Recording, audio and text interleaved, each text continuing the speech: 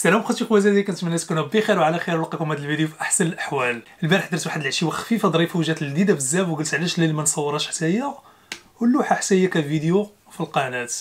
تقدر تكون الطريقة ديالي مختلفة على الطريقة ديالكم. كنتمنى تستافدوا من هذا الفيديو هذا وتفرجوا فيه من الأول حتى الأخر وفرجة ممتعة. آه على بركة الله بالنسبة للمكونات كنحتاجوا الكبدة ديال الدجاج الطماطم اللي كتكون محكوكة.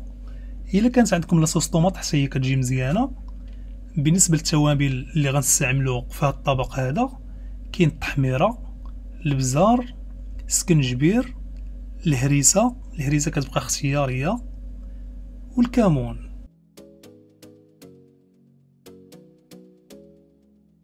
والثومه الغبرة ديال الثومه ولا الثومه العادية؟ بحال بحال.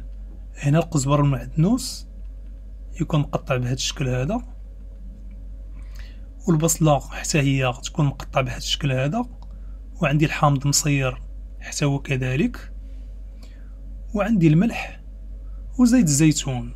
بالنسبة لطريقة التحضير كناخذ واحد الكاسرونه أو طنجرة كنوضعوا فيها الزيت البصلة الثومه كنخليهم يتشحروا واحد شوية كتهبط هذيك البصلة من بعد كنزيدوا الطماطم نخليوها تشحر ونسدوا عليها واحد خمسة دقائق. غير تبان لينا تشحرات صافي كنزيدو الكبدة والحامض مصير الثومه الملح وكذلك التوابل وكنخليهم كيطيبوا. والقزبر والمعدنوس وكنزدو عليهم وكنخليهم يطيبوا على خاطرهم. على نار متوسطة.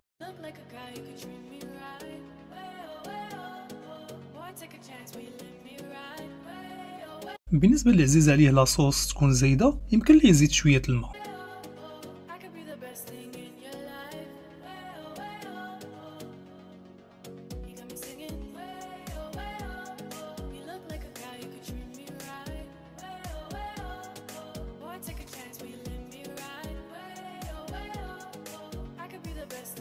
وبالتالي الطبق ديالنا وجد وكنقدمو بهذا الشكل هذا وبالصحة والراحة.